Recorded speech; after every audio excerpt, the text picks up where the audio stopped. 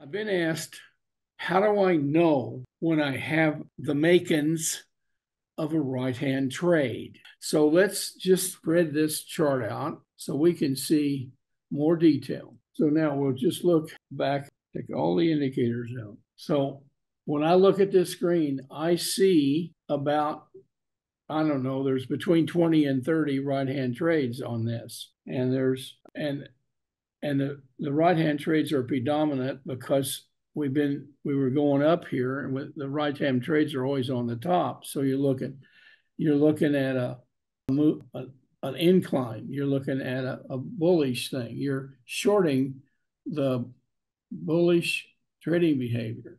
So you're looking let's just start right here and that you see a string of higher highs and higher lows there's a string one, two, three, four, five, six, seven, eight, nine. There are 10 of them. On a, it's a weekly chart. This was really, really powerfully moving up. Now let's, it doesn't matter whether it's 15 minute chart or a weekly chart. You're still looking for the same patterns. So you look for a, a bunch of going in the same direction, and each one of them is a higher high. And this could be a 15 minute chart. It happens to be a weekly. Forget that. But you're seeing one candle after the other going up, up, and up. And you know nothing goes up forever. Nothing goes down forever. It's going to change. So you look for the signals to help you understand where it's going to change. And so signal number one is after after this higher high and this higher high, you get a candle that the wick is a lot bigger than any one of the wicks on the previous seven or eight candles. And that's what you see. You see this one here, you got a wick, and then you know that this candle at one time was all black because this is the open and it moved all the way down to there while it was down there when it got from here down to there it was a black candle but sometime during its life it, be, it became a white candle up here everything above that okay and you got to figure out you're looking at a topping tail. That's what you look for. That's the answer to your question. How do you know? Okay, there wasn't any topping tail here, not much there, not much there. None of those had very much topping tail. But this one had a lot more topping tail, a lot more wick on top than any of these other six or seven candles here. That one had a little bit, but it got taken out pretty quick. That that could have been mistaken right hand trade and you and it failed and you got stopped here. However, this one succeeded. And you could tell the way it just finished. And you knew that this candle was a short sell idea, opportunity when you had that big wick up there and this big wick down here. And that's how you know that that wick on top is how you know this may be a sell signal. And when that candle turns black, you you're you're more confident it's going to be a sell signal. So get ready to sell. Now you can sell right here, right there when price is right there, and your stop is one tick higher.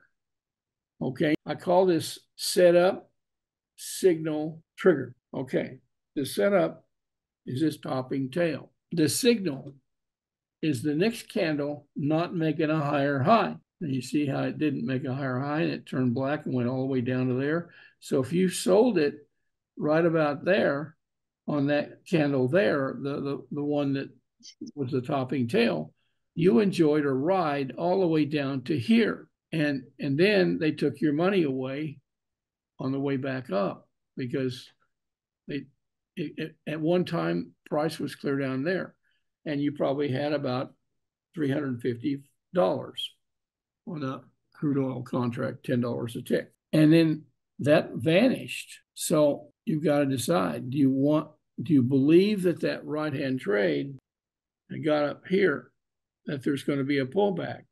And when it starts pulling back, you're expecting a 38% pullback. So let me show you how you figure that out. You draw a fib on here. So that's your target.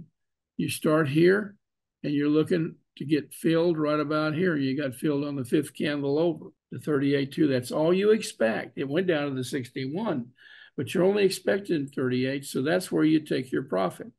Now, if you were in a multiple lot trade, you take your profit there and then leave another one on here to run down there. Call it a runner and get a little bit extra because it moved on up, made new highs after that 61% move down. But you were just looking for a 38 to take the trade. Thank you. Okay.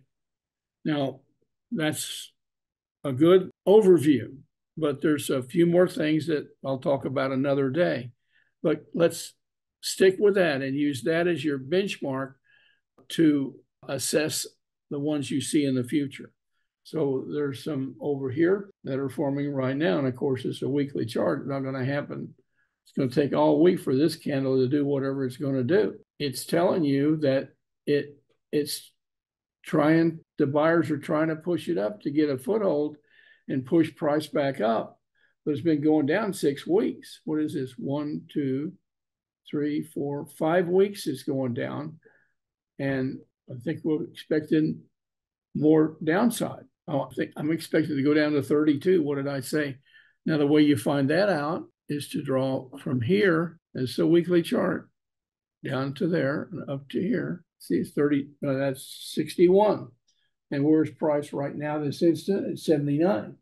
So we've got 10 more points to go down to complete this A, B, C, D. Now, not all work, as you can see over here. They don't always work would anticipate them working. Consider that. They all resolve, but maybe not in the time frame you're expecting. That's why you look at multiple time frames and do the same exercise, not only on weekly, but do it on the daily and do it on a four hour and do it on an hourly and do it on a 15 minute and then compare those. And and it's in your best interest to find about three instruments, not five or six or seven or eight. We we we look at eight, but we really look at three primarily gold and oil, and maybe the euro, and maybe an index. I like oil best and silver second. I like silver better than gold, but gold moves more than silver. Silver's very thinly traded. So just find one of these instruments that you like best. My favorite's oil, but oil's not doesn't always move. So you got to have a secondary favorite. Well, I, secondary is gold. And I don't trade the S&P very much because it doesn't start really moving until after 6.30 after the New York Open. We're making money in, in, in oil. I mean, excuse me, we're making money in the S&P right now on a short. Uh, one of our traders is, I'm looking at one of my one of our traders on another screen. So Order canceled. we took profit on that trade and we're up on the day in that account. Okay, that concludes my comments on this little short audio video. We'll talk about some more stuff tomorrow.